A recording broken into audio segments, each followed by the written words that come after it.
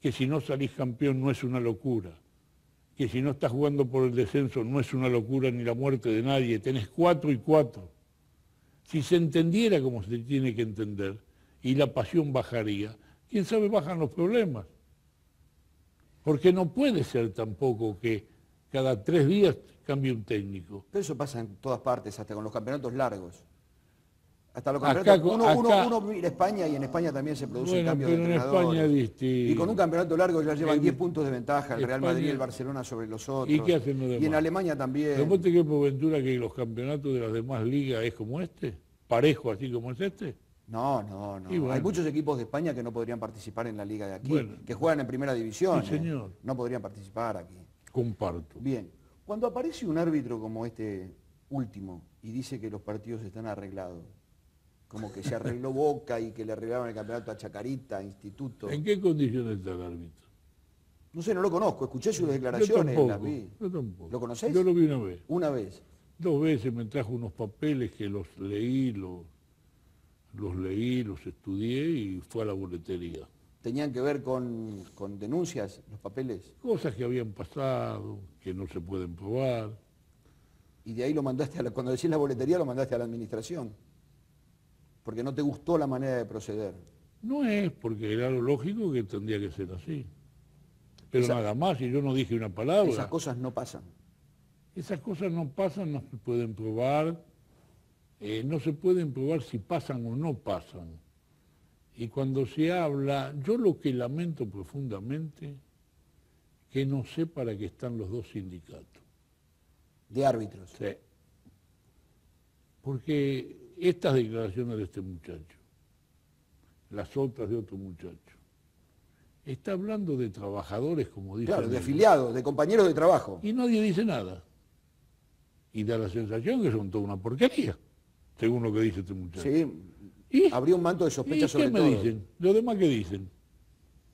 Nada. ¿Nadie te llamó de la asociación de árbitros? Nadie. del sindicato? Nadie. Ahora, explícame a ver si el presidente de la AFA tiene motivo de poder estar en el tema donde tomó las medidas que tiene que tomar, juntamente con el comité ejecutivo. Ahora renovaste a los árbitros. La renovación ¿Y, y por qué habrá sido? Me pregunto. Yo también. Algún motivo tiene que haber. Algún motivo tiene que haber. ¿Tiene que ver con una condición técnica o porque sospechaste algo? Por una incertidumbre que se está viviendo que no puede ser, que se hable de uno, se habla de otro, se habla de esto, se habla de aquello. No puede yo me imagino la cantidad de rumores que te deben llegar sobre situaciones que se plantean. ¿Por qué soy el presidente del Colegio de Árbitros? ¿Por qué tomé un cargo, justamente el peor cargo que puede tener el fútbol? Para tener sobre mi espalda la responsabilidad de lo que se haga. Pero a mí no me van a venir a hablar, es fulano, mengano, sultano. ¿Los tenés cortitos a los árbitros en ese tema? No los tengo cortitos, tienen que cumplir con lo que corresponde en las reglamentaciones vigentes. ¿Esta renovación te, satisface? ¿Son sí, buenos porque eh, pienso que la juventud que hay que hay que darle lugar. ¿Y son buenos estos? Pienso que hay que verlos, pero afortunadamente creo que se pudieron cinco y ustedes mal no hablan de esos cinco. Entonces quiere decir que también yo me fijo en la imparcialidad de muchos de ustedes que lo hacen sin ningún clase de favorecer a uno u otro. Y, tomo en cuenta para tomar después en las conversaciones que se hacen con, fundamentalmente con la Molina.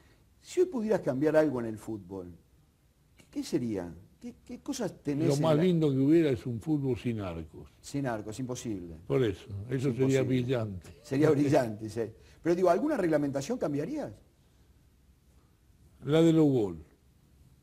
La del saque lateral. El saque lateral lo tiene que tirar. No, no, no, no, más, más, pelota al arco. ¿No querés? Esa, esa jugada tendría que tirarla el que está más cerca, más cerca, el jugador más cerca que está del que tiene que tirar el saque. No que espere que venga el 3 de allá. Ah, no un especialista, sino... No, no, no que especialista. Especialista cuando van ganando van perdiendo. Y van ganando la tira cualquiera. Si van perdiendo viene el fullback del otro arco para tirar la bola. Eso es lo que... Es lo mismo que la jugada del arquero. La jugada del arquero, ¿cuántas veces estaban? Toma vos, toma vos. Y estaba... Fue brillante. El tema del arquero fue brillante aligeró el fútbol. Creo que esa de la UBO también puede aligerar el fútbol.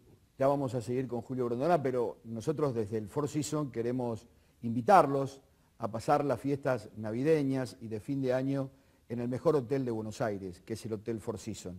Los clásicos brunch eh, de mediodía, de Navidad y de primero de año, y las fiestas tradicionales en este hotel los días 24 y 31.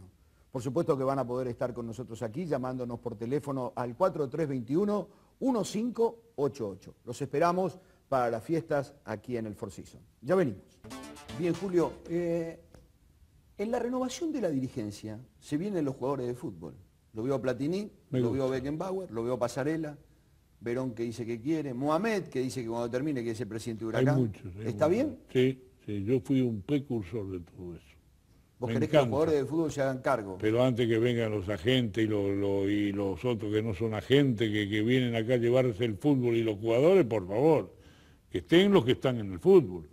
¿A Pasarela lo ves bien en este tiempo? Sí, sí, sí. Lo, veo, lo veo cumpliendo con una misión. ¿Lo ayudaste? No, a Pasarela no. ¿No lo hablaste económicamente? No, a Pasarela no, por ahí le puse, eh, pude haber eh, ayudado a River Play, no a Pasarela. Bueno, no, no, no, A River. a River, River no necesita mi ayuda, River lo que necesita es la colaboración de encuadrarse y sale volando. A Independiente también lo ayudaste. A todos, a todos. Pero ahí con comparada tenías una situación. Ahí. Él conmigo, yo no. Él con vos. Yo no, yo no veo que a esta altura, que no, no puede estar lo mismo. ¿Y ahora?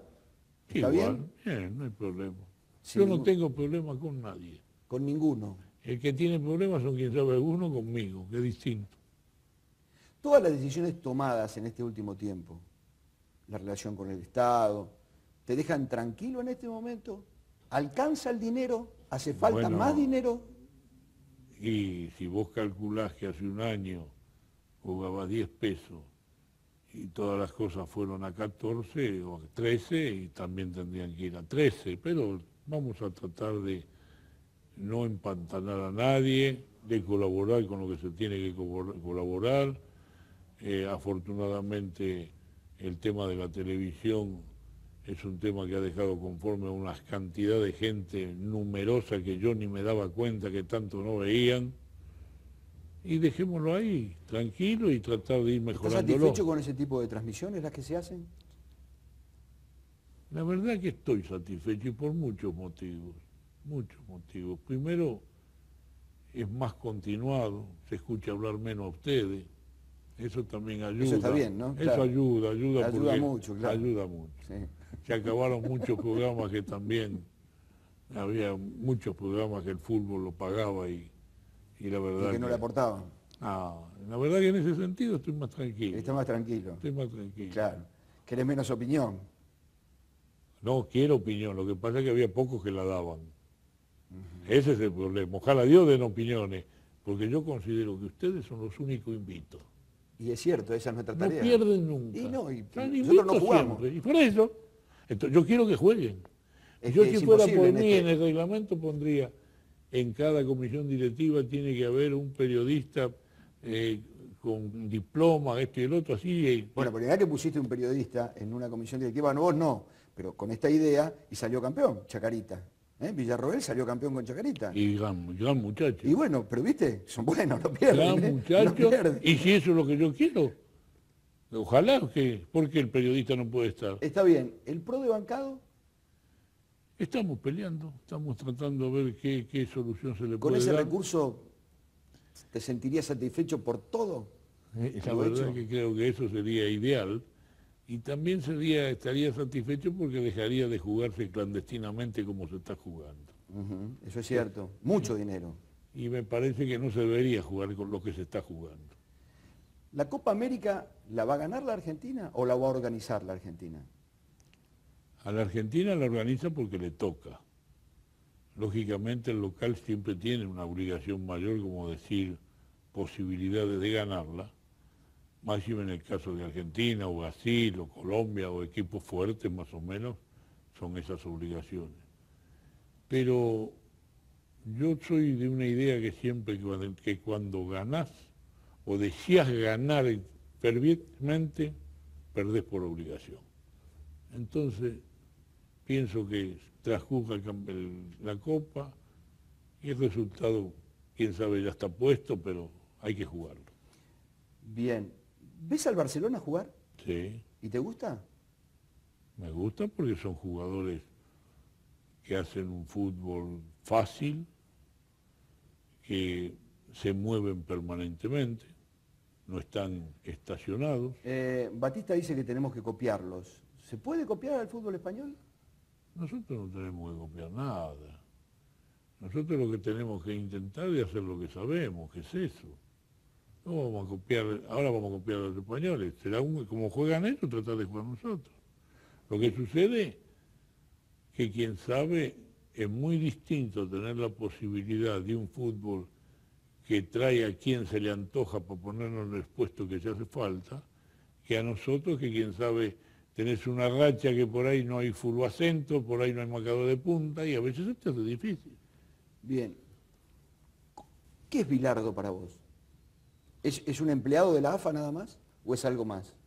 Bilardo está dentro del fútbol argentino y particularmente para mí en su momento fue una solución que hizo un clic el fútbol. Para mí, quién sabe, estoy equivocado. cuando fue director técnico. Cuando empezamos en el 83. ¿Y hoy? Que están atacados, que está...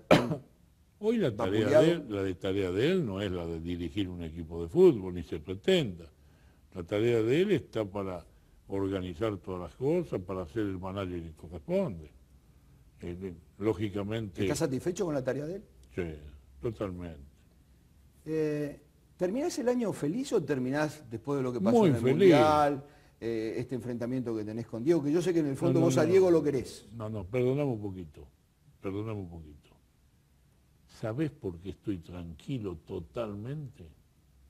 Porque sé que pude cumplir con alguien que podía haber estado en deuda si yo no tenía la oportunidad de ofrecerle algo para que sensatamente y juntándose con la gente que tiene que juntarse, cambiara su vida y andaríamos como en un vergel.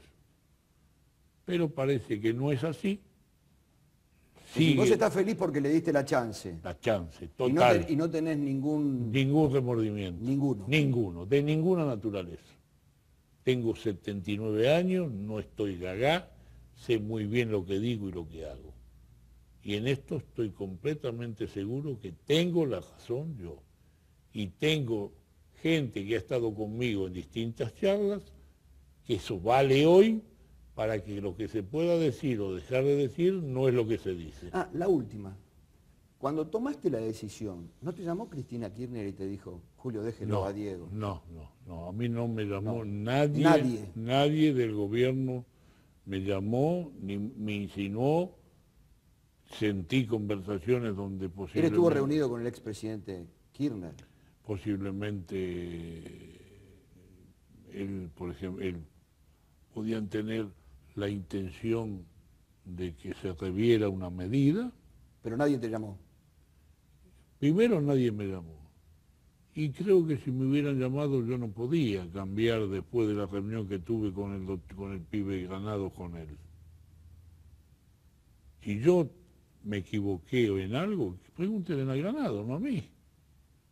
Pregúntele nada más, yo no quiero saber más nada. Después que eso de verso, eso de toda esta historieta de, estos últimos días. Y bueno, eso es una cosa que es muy fácil hablar. ¿Terminas tranquilo entonces el año? Total, más que nunca. Te agradezco. No, muchas gracias a vos. Que sigas bien, ¿eh? Que tengas un buen año. Felicidades, a toda tu familia también. Terminé hablando poco durante todo el año, pero termino contento de haber hablado con vos. Muy bien, muchas gracias. ¿Qué va a hacer? Algunos se van a enojar. Mala suerte. ¿Qué, va a hacer? ¿Qué vas a hacer? Eh, a ustedes también, muchas gracias. Felicidades, nos encontramos a cada rato en la pantalla de Fox Sport. Muchas gracias también a las autoridades del Hotel Force.